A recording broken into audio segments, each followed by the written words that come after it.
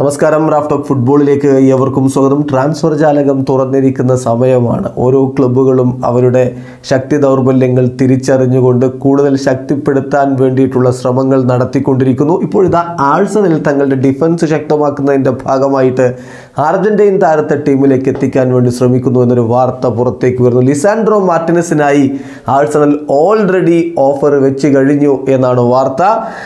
അത്ലറ്റിക്കിന്റെ football correspondent ആയിട്ടുള്ള David Ornstein ഇക്കാര്യം ഇപ്പോൾ റിപ്പോർട്ട് ചെയ്തിട്ടുണ്ട്. മുപ്പത് മില്യൺ യൂറോയുടെ ഒരു ബിഡ് അയാക്സിന്റെ മുന്നിലേക്ക് ലിസാൻഡ്രോ മാർട്ടിനസിന് വേണ്ടി ആഴ്സണൽ സമർപ്പിച്ചു. പക്ഷേ ആദ്യ ബിഡ് ഇപ്പോൾ അയാക്സ് റിജക്റ്റ് ചെയ്തിരിക്കുകയാണ്.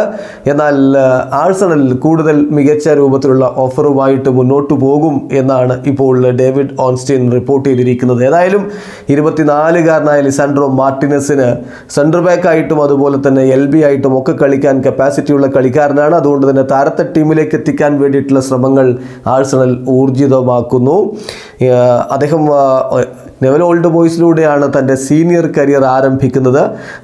രണ്ടായിരത്തി പത്തൊമ്പത് മുതൽ അയാക്സിന് വേണ്ടി കളിച്ചുകൊണ്ടിരിക്കുന്നുണ്ട്. അർജന്റീനയുടെ under twenty under twenty three ടീമുകൾക്കൊക്കെ വേണ്ടി കളിച്ച താരം ഇപ്പോൾ ഓൾറെഡി അർജന്റീനയുടെ സീനിയർ ടീമിന് വേണ്ടി ഏഴ് മത്സരങ്ങൾ കളിച്ച് കഴിഞ്ഞിട്ടുമുണ്ട്. വീഡിയോ സാധിക്കുന്ന ഫുട്ബോൾ ലോകത്തെ കൂടുതൽ വിശേഷങ്ങളുമായി റാഫ്റ്റോക്സ് വീണ്ടും എത്താം.